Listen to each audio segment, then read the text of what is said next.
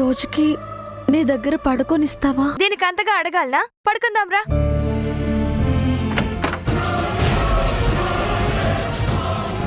Gita